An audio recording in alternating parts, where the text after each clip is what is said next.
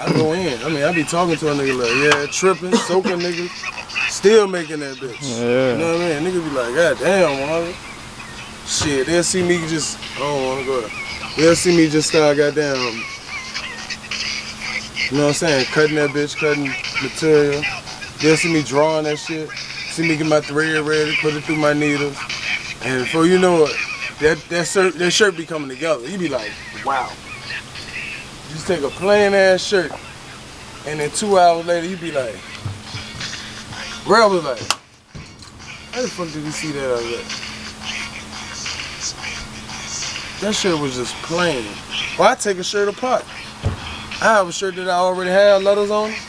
Now I cut them shits off. Make a whole nother shirt. Ain't it, bro? That nigga shit. Recycle.